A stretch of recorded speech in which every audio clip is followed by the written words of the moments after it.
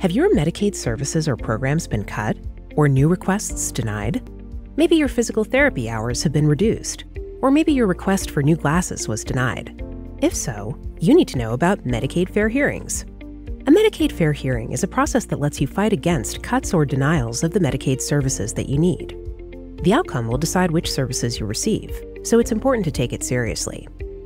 If you think a decision about your services is wrong, you should ask for a hearing. But the fair hearing process can be confusing, so let's try to break it down. Medicaid managed care organizations, MCOs, or state Medicaid agencies may sometimes cut or deny your services. If they do, you should receive a letter called a denial notice. It's important to understand everything in the letter so that you're ready to advocate. Let's take a closer look. There are four things that should be in the letter.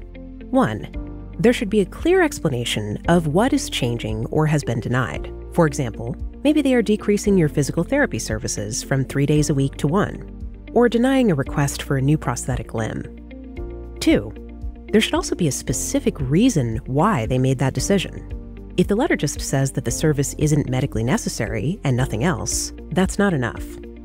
Three, the MCO or state Medicaid agency also has to include which laws or rules they say support their decision. Four, it's important to know that you may have as little as 10 days after receiving the letter to request a hearing so that your services stay the same during the process. They need to tell you what they're doing, why they're doing it, and how you can respond. So, what about the hearing itself? Your fair hearing is a chance for you to explain why you need the services they're denying or trying to take away. So, before the hearing, make sure you gather plenty of evidence to support your case.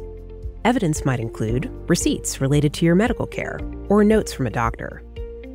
The hearing isn't always in a courtroom, it's over the phone most of the time, but it's still a serious, confidential legal meeting. There may be several people participating in the hearing, including witnesses, the MCO or state Medicaid agency representative, and a hearing officer who will listen to you and make the final decision. Make sure you explain your needs clearly and completely the services you're fighting for impact your everyday life. After the hearing, the hearing officer will make a decision about your services. A written decision will be sent to you sometime after the hearing. They may disagree with you, and your services can be cut or denied. Or they may agree with you, and your services can be approved. You deserve to have the services you need. Medicaid fair hearings play an important role in deciding what services you receive, so make sure you're ready to advocate.